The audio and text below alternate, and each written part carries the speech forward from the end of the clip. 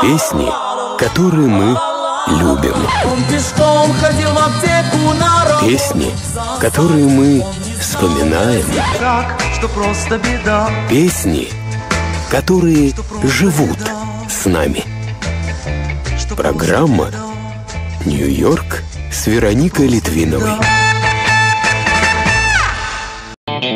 Всем большой привет, дорогие друзья! И, как всегда, говорим о Нью-Йорке, о самом прекрасном городе мира, но если бы я не была в этом уверена, я, наверное, бы не вела эту программу. Как всегда, желаем зеленого света всем водителям на всех дорогах города и хорошего, отличного настроения. Сегодня буду рассказывать о том, о чем должна рассказывать, о достопримечательностях Нью-Йорка, например, о музеях, о концертных залах. Помните, как говорила госпожа Калугина, Шурочки, из бухгалтерии. Вот вернитесь на свое рабочее место. Вот и я также. Все о книгах, да, о книгах, да сколько же можно. О книгах, хотя читать я по-прежнему обожаю, хочу рассказать о том, что происходит в нашем прекрасном, отличном городе. Вчера, наконец-то, выбралась в Манхэттен на спектакль «Нотр-Дам де Пари», получила большое, огромное удовольствие. Я вообще вот этот а, плаза перед Метрополитен Опера, где зимой елка, а летом фонтан, и сейчас там такие, какой-то шар крутится, как на дискотеке кофеек можно попить, перекусить. В общем, это вообще одно из моих самых любимых мест на Земле. Да-да, подчеркиваю. В общем, тоску по Парижу заменили прекрасным мюзиклом, который привезла, э, привезла канадская труппа. Очень много звучало э, речи, э, русской речи в театре. Но самое главное, сзади были французы, они обсуждали э, спектакль. Я ничего не понимала, но мне было хорошо. В общем, спектакль на сцене, и за спиной тоже говорили на французском французском. И сегодня я решила поговорить о том, куда же все-таки пойти в Нью-Йорке, потому что я думаю, что ко многим приехали гости, и вчера я посмотрела, что туристов меньше, чем в обычные, э, в обычные э, дни, скажем так, года до короны, но, тем не менее, город, мне кажется, оживает, он становится лучше, хотя, честно говоря, какие-то вещи, ну, немножко меня огорчили, например, платный паркинг, хотя такой вам лайф, лайфхак даю, в воскресенье можно в, около Линкольн-центра найти абсолютно спокойно паркинг, так что, а, ну, у меня был куплен а, тикет, жетон со скидкой, но все равно можно было бы поискать и, беспла- и бесплатный. Ну, вот паркинг, э, нам сказали, работает только до 12, Starbucks рядом был закрыт, пара бездомных у этого закрытого Старбакса валялась. Но, тем не менее, вот эта абсолютная свобода, вот когда я вижу людей одетых, потому что некоторые идут такие а-ля фрики одеты, некоторые old money, некоторые идут э, одеты так, как будто из комиссионки, некоторые очень ярко и красиво. Вот мне кажется, вот эта свобода, это кто-то говорит, а, это безвкусица, Нью-Йорк, кто как одет. Нет, это и есть та свобода, о которой мы говорим. И поэтому я вас все-таки приглашаю приехать в Манхэттен, хотя и богу, Бруклин южный я тоже очень люблю. У меня в соседнем дворе китайцы такого там насажали. У меня такое впечатление, что я на какой-то китайской плантации. По утрам делают они тайчи. И это тоже Нью-Йорк. И такой Нью-Йорк с такими, в Южном Бруклине, например, с такими всякими кабачками, грибами, китайскими огурцами и тыквами, он мне тоже очень нравится. Но все-таки давайте в Манхэттен. Эм, с вами отправимся. Э, и для кого-то этим летом, может быть, у вас, хотя мы э, New Year, э, New Year Resolution, то, что мы хотим сделать, мы обязательно планируем обычно 1 января по достатке селедки под шубой салата оливье. Но, может, кто-то из вас это, на это лето запланирован ввиду отсутствия средств или личного любопытства сам стать гидом для своих гостей. Поэтому, возможно, мои советы вам, конечно же, понадобятся. Ну, вот, например, молодым гостям, конечно, конечно же, нужны бутики сока, соха, рестораны, ночные клубы. Он действительно, Нью-Йорк все равно продолжает бурлить 24 часа в сутки, 7 дней в неделю. вопрос такой у нас не куда сходить, а как успеть в Нью-Йорке по максимуму. Потому что, ну, это действительно такая мировая столица, и здесь великое множество концерт-поп-звезд мирового уровня. И э, вот я хочу сказать сегодня о своем любимом зале. Это Мэтт Опера. Я вчера была. Это своего рода музей под открытым небом. Да? Напоминаю, что э, оперный сезон длится с а, апреля по октябрь, все, после, э, извините, простите, по, э, работает с сентября по апрель, с ежедневными спектаклями в этот период времени, но ежегодно с мая по июнь период мировых гастрольных туров. Обычно это балет. Посмотрите на сайте Мэт Опера расписание, и солисты и дирижеры приглашаются вообще на контрактной основе. Я сейчас говорю об опере, а оркестр и хор работают на постоянной основе. Вот я слышала, что у них такой мощный профсоюз, что никогда из хора практически человека не убрать. И иногда э, звезды получают даже меньше, чем люди в хоре. Вот так вот. Все спектакли, еще раз говорю, исполняются на языке оригинала, мировая классика, Верди, Пучини, Штраус, Моцарт, Вагнер. Ну и такое, конечно же, наш Чайковский, Мусорский, Пиковая дама, Евгений Онегин, Борис Годунов. Изначально Метрополитен опера здание основу, основ, располагалось на Бродвее, в здании по проекту архитектора Кливленда Кейди построен был театр и открылся для зрителей оперы «Фауст». Ну а потом был большой пожар. Пожар вообще это был бич э, в развитии Нью-Йорка. Нью-Йорк очень часто горел, поэтому у нас так мало старых зданий. И э, вот он случился в 1892 году, и после реконструкции Метрополитен опера еще долго э, время существовала на своем старом месте, и только в 1966 году была перенесена в специально отстроенное новое здание здание в Линкольн-центре на свое место. Э, приезжайте пораньше, если вы идете на тот же, эм, э, например, концерт э, на тот же мюзикл еще неделю идет Нотр-Дам и Пари. Приезжайте пораньше, погуляйте, зайдите в кафешку. Напротив замечательная, замечательную пиццу готовят. Люди приезжают из-за границы. Ну, чтобы посетить Нью-Йорк и попробовать пиццу именно там. Пару замечательных французских, итальянских ресторанчиков. Э, здесь же Empire Hotel, где останавливался Маяковский. В общем, история на каждом шагу. И, конечно же, кофе попивать вот на этой плазе между Метрополитен, перед Метрополитен опера, наслаждаться полотнами Шагала, гармония музыки и торжество музыки, оно того стоит, чтобы приехать э, в Нью-Йорк. Итак, вот вы, например, получили билеты а, каким-то образом и пошли. 18 сентября в этом году, по-моему, открывается сезон.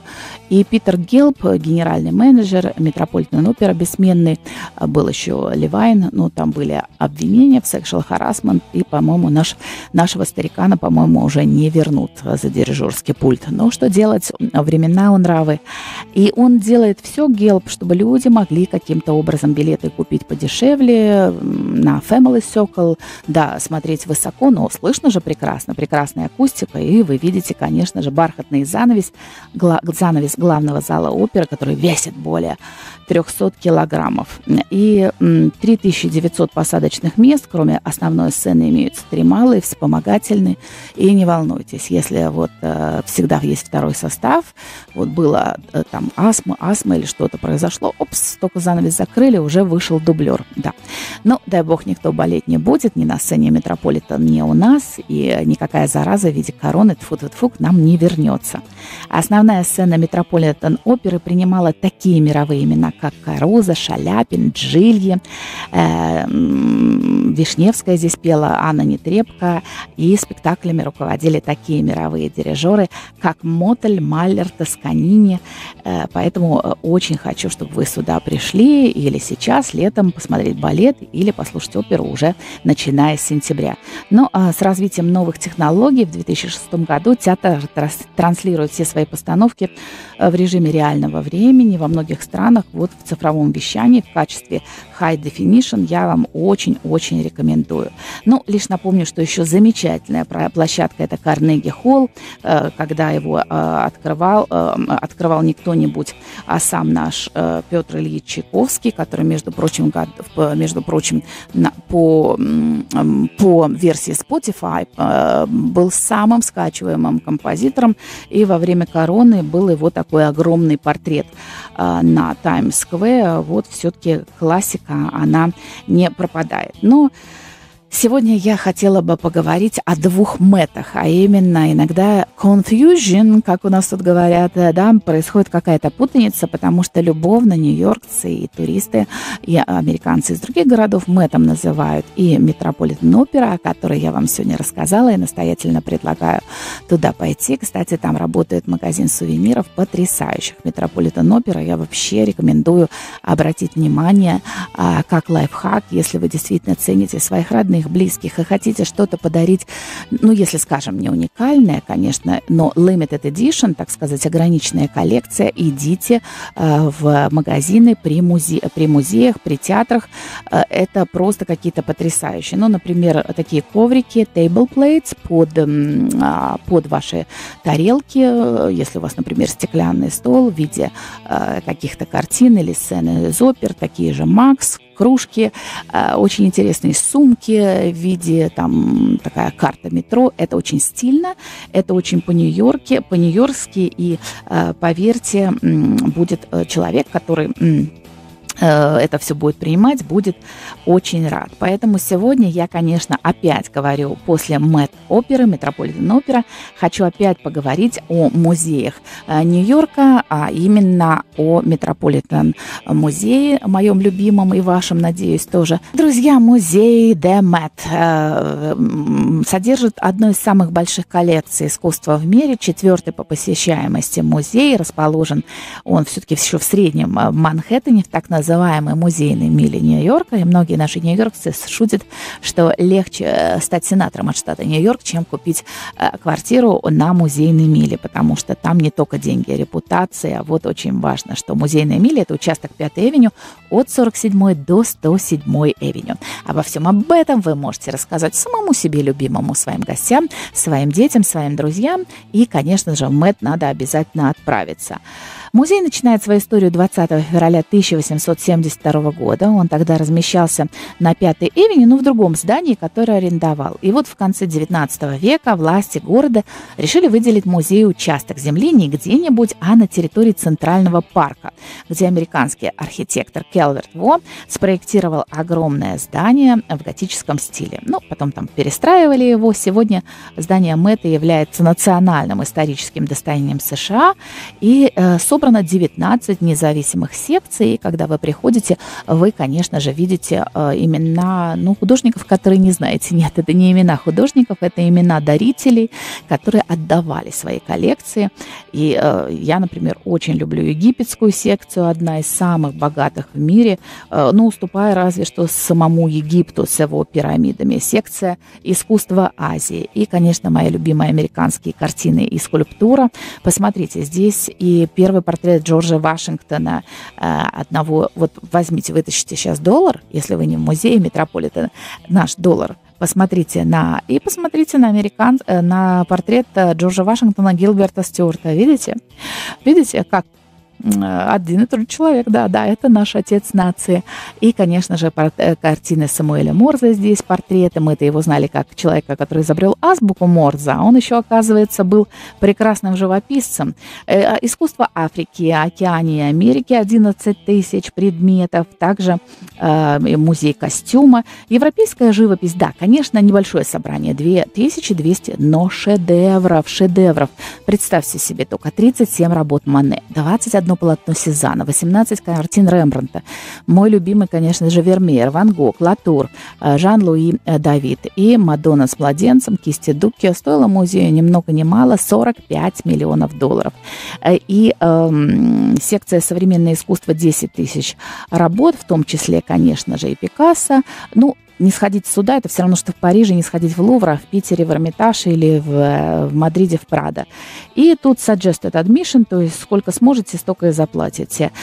И, друзья, так как где-то полгода, наверное, я говорила бесконечно в этой программе о книгах, то и сегодня, говоря о Метрополитен-музее, я хочу начать с книги. Если кто-то не слышал мою программу, где я рассказывала о романе Донны Тарт, который просто меня потряс, и я думаю, ну, еще кто-то для себя будет открывать этот роман, Не зря получена Пулицеровская премия. Донна Тарт пишет 10 лет. А, один роман у нее, нет у нее такое плетение словес. Прямо, я думаю, точно вот любила Набокова и Достоевского. И точно она в интервью сказала, что это были ее любимые писатели. А, в общем-то, Метрополитен музей никогда не жаловался на отсутствие публики в его залах. Но в 2014 году, после того, как вышел «Щегол», а, туда началось настоящее паломничество, потому что народ шел посмотреть на легендарное полотно Карла Фабрицио Сощегол. Э, в книге главный герой Тео Деккер, который смог выжить после теракта в музее, так понимаю, в Метрополитене, выносит эту картину из музея. Каково же было разочарование, дальше я спойлерить не буду, что произошло с мальчиком из картины, когда туристы узнавали, что это всего лишь литературная мистификация. В, результ... в реальности Щегол а, всегда хранился в Королевской галерее Мориц Хьюис в Гааге. И что вот интересно, кто смотрит наши передачи, а не только слушает, вы сейчас сейчас видите картину Щегол, вот она у вас на экране. И что интересно, эту картину, вот как вообще, вот так думаешь, ну вот как писатель, ну что вот он там э, свое яйцо в смятку ест с утра или писательница, ему приходит в голову какой-то гениальный шедевр, это интересно, потому что э, Донна Тарт была с турне, вот как и звезды музыкальные, да, те же на молодожены Дженнифер Лопес и Бен Аффлек опять поженились, вы посмотрите на них. Вот они отправляются, например, в турне, а можно же, да, хороший пиар-ход. Поженились опять, поехали в турне. Также и, э, популя... чтобы популяризировать свои книги новые, отправляются в турне и писатели. И вот отправилась в турне Донна Тарт с «Тайной историей», и когда она была в Нидерландах, она увидела эту картину, и вот из этого вышел замысел этой книги, которую она написала 10 э, лет. Так что Карл Фабрициус Щегол, трагическая судьба у этого художника. И все-таки, увы, полотен э, Фабрициуса в Метрополитене нет, зато там есть работа его ученика Яна Вермеера. Вермеер, король света, о нем я очень много рассказывала, слава богу, из 36 работ Вермеера очень многие находятся в Америке, замечательно. Э, его отец занимался шелками, картинами, он стал отменным художником, и ткани на всех его картинах, кстати, выписывал с особой любовью. Но мне кажется, его основной лейтмотив – это свет, потому что в любой картине свет. И вот здесь взгляните, э, взгляните, взгляните, друзья. Вот она картина, если вы нас э, смотрите э, по телевизору. Молодая женщина с кувшином воды. Сюжет невероятно прост, но как выписаны детали. Опять же, этот прекрасный свет, и мы можем разглядеть даже шляпки гвоздей в спинке стула. Сложную фактуру покрывала на столе, покрывала вместо обычной полотняной скатерти. Тогда это был приз признак очень зажиточной семьи. Горящую медь кухонной утвари. Даже стена не белая, в ней художник соединил множество оттенков до миллиметра, выверив каждый штрих и нюансы падения света. Гений, что говорить. При жизни, увы, не был признан. Э, ищите этот шедевр. Э, когда я была последний раз, э, реставрировали зал, и поэтому голландцев несправедливо, Вермеер несправедливо был внизу. Я надеюсь, уже его подняли обратно на его этаж, и справедливость восторжествовала. Питер Брейгель старший. Вот люблю, обожаю эту картину. Почему-то э, называют этого художника мужицким по одной версии, потому что он предпочитал изображать преимущественно крестьян, а по другой, потому что сам был э, крестьянского происхождения. Его «Жатва лета» — это сейчас признанный шедевр, но писал он ее в качестве иллюстрации к календарю. Тогда было принято украшать календари изображением сезонных работ. «Жатва» по всей видимости, соответствовала августу. У нас тоже сейчас есть тематические календари. Мало что меняется, понимаете, нам все кажется, что мы идем вперед. Ну, может быть, в плане гаджетов, да. А так и у нас тоже сейчас тематические календари, только если у нас э, такие гениальные, как Питер Брейгель старший. Не знаю, не знаю, картина жатва, остановитесь, посмотрите. И Эль Грека, э, вид э, Натале, Наталеда, его Толеда. Э, Эль Грек вообще прозвище, ставшее узнаваемое, чем его имени, все его так и знают. Он вообще родился грек, он родился на греческом острове Крит, но всю жизнь он прожил в испанском Толедо, он прославил этот город. И я знаю, у меня есть такой знакомый искусствовед, уже мужчина пожилой, он говорит, как только я приехала в Толедо, я сразу же стала искать этот вид и не нашел. Да? Ну, в общем, прославила Эль Грека этот город. Э, и, во-первых, это гениальная картина, потому что она, это один из э, двух э, сохранившихся пейзажей Эль Грека. Во-вторых, чуть ли не первый в истории живописи пейзаж как самостоятельное произведение. До этого считалось, что пейзаж может быть лишь фоном для основного сюжета. Правда, точностью расположения объектов гений себя не, утвер... не утруждал. Дворец Алькасар и Толецкий собор видны одинаково хорошо, тогда как в реальности колокольня собора скрывается за замком. Ну, такую вольность зрители ему упростили, зачарованные невероятным сочетанием свинцовых, зеленоватых и синих тонов. И я, конечно же, тоже мечтаю побывать в Испании. И мечтаю, ну, кто знает, может быть, и найти этот вид на Толедо, который мы видим. Или хотя бы что-то похожее. Вот так, вот так и манит э, искусство, рождает в тебе страсть к путешествиям. Э, нельзя пройти мимо Рубинса и его Венеры, конечно. Вот э, если вы пойдете, а я уверена, что вы пойдете к импрессионистам, мимо этой картины вы на втором этаже не пройдете, э, на третьем да, или на втором, на третьем. Э, Питер Поль, э, Паули Рубин створил, как бы сейчас сказали, в стиле боди-позитива. Даже есть такое э, да, понятие «рубинсовская женщина». На сюжет из «Метаморфоз Овидия» он написал несколько полотен. И вот м, версия представлена, одну хранится в Эрмитаже, а здесь представленная в Мэте достаточно сильно отличается. У нас тоже в Эрмитаже Венера. Здесь Венера пышнотелая, жаждет отдать себя простому смертному, в которого влюбилась без памяти. Но Адонис все-таки его больше манит охота. Знаете, как вот в современном мире мем такой, ты опять на рыбалку, а я вот тебе пирог испекла, люблю тебя, да, его манит охота. И уже здесь каждый сам решает. Он оттолкнет богиню к бедру, которой протянута его рука. Ну, я думаю, что вы можете почитать легенду, э, вернее, миф, который, э, мифологический сюжет, который э, за этим стоит Венера и Адонис, 1630 год. Как вы считаете, кстати, он оторвется от нее или нет? Ну, а особо интересным и любопытным, конечно же, я предлагаю прочитать все, что связано с этой картиной и как э, Э, как заканчивается на самом деле этот сюжет, если о нем прочитать. Так, да, Сократ. Сократ мой друг, но истинно дороже, жа, да, Жан-Луи Давид. Тот самый случай, когда политика и искусство оказываются вещами совместимыми. Мы, кстати, очень много знаем художников нынешних, Э, которые обласканы властью, это все не ново, как я говорю. Человечество не меняется. Ну, в общем, вернемся к Жану Луи Давиду. Сперва он стал соратником Робеспьера и Марата, без колебаний отдал свой голос за казнь Людовика XIV, что не помешало ему через некоторое время пылко поддержать ставшего императором Наполеона и заслужить звание первого художника Франции. Его полотна, ну, играли, наверное, ту же роль, что и агит-плакаты Маяковского после революции. Кстати, другая картина другого художника, Делакруа, вдохновила, вот «Свобода, идущая на баррикады», вдохновила Бартольди на создание нашей статуи свободы. Ну, ладно, я отвлеклась, давайте все-таки вернемся к картине «Смерть Сократа».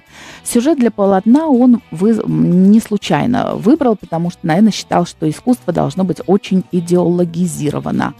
Несправедливо осужденный Сократ предпочел выпить чашу с ядом и не оправдываться перед врагами. Он обращается к ученикам с прощальным словом, а рука уже тянется к чаше с ядом но застыла в нескольких миллиметрах, потому что, увлеченный общением с, с учениками, он будто бы забыл о смерти по замыслу Давида. Французы, глядя на это полотно, должны были укреплять свой дух и идти до конца в борьбе, не страшась смерти. Ну и как же без Пикассо? Конечно, он у нас представлен и в МОМА, и вообще о его э, периоде э, дружбы э, с Гертрудой Стайн можно много говорить. Это один вообще из самых плодовитых художников 20 века. Э, выбор полотна очевиден, почему я выбрала его, хотя могла рассказывать о своем любимом Ренуаре, например. Гертруда Стайн была одной из самых известных американских писательниц. Она э, портрет переписывал он бесчетное количество раз, пытаясь добиться портретного сходства, так и не добился. Кстати, она, увидев э, вариант последний, она окончательно сказала, я себя не узнаю. На что он, хотя она ему так помогала, вот так взял и брякнул. Ну, гений. Не переживайте, лет через 15 вы станете именно такой. И даже, говорят, холодок какой-то прошел после этого. Но потом помирились, э, и трудно давалась эта работа, потому что обычно для портрета ему хватало буквально пары сеансов, вот как и Ренуару, это были те художники, которые очень-очень были плодовиты и очень быстро писали. Тут он бился три месяца, измучил Гертруду требованием позировать снова и снова, бросил недоделов, потому что суть а, ускользала. И вдруг через несколько месяцев вернулся к этой работе, а, поняв, что ему нужно было передать на холсте сильный характер, стайн ум и вместе с этим, увы, пронзительное одиночество. А, в общем, прекрасный портрет. Кстати, именно она потом собрала значительную коллекцию, а, значительную коллекцию его работ. И вообще можно много говорить о том, как они общались и как она ему, как молодому художнику, помогала. Ну, надеюсь, вот это была такая своеобразная, своеобразная такая форма спасибо, хотя ей портрет ужасно не понравился. И, наконец, Ван Гог и его кипарисы. Я всегда подхожу очень близко к этой картине. А, и, как мне рассказывали, тогда перевозили, знаете, сейчас, если ставят какие-то рамки, то тогда просто перевозили, там даже есть такие следы на, это, на кипари, на кипарисах вот перевозки. Но все равно от этого картина хуже не стала.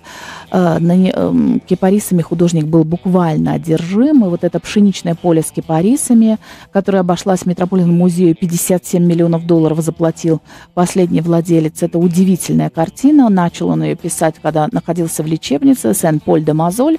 Он смотрел из окна клиники и писал то, что видит. Пшеничное поле густое, волнами, небо тоже густое, осязаемое. Он написал, выписал его цинком, а не белилами. Матовые оливковые деревья и взмывающие свечой к этому густому небу кипарис.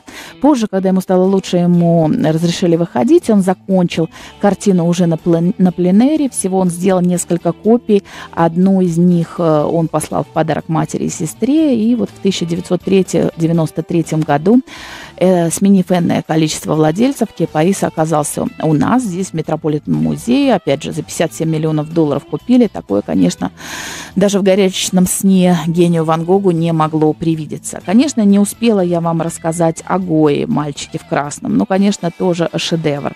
Я очень люблю Джона Сингера Сарджента, хотя, возможно, для кого-то это не самый лучший художник. Великолепные полотна Сезанна мой любимый Ренуар. И даже Илья Ефимович Репин э, здесь здесь представлен, но нельзя объять невозможное. И я надеюсь, те, кто из вас увидел эти картины, найдут их в Метрополитен а, музее и потратьте какое-то время, отправьтесь со своими детьми, родственниками, ближайшими знакомыми, соберите компанию и один раз пойдите не в ресторан, а пойдите в Метрополитен музей. Но здесь у меня уже пошли какие-то учительские лекции, вам решать. Наслаждайтесь городом зеленого яблока, городом который называют столицей мира. До встречи! Песни, которые мы любим. Песни, которые мы вспоминаем. Песни, которые живут с нами. Программа «Нью-Йорк» с Вероникой Литвиновой.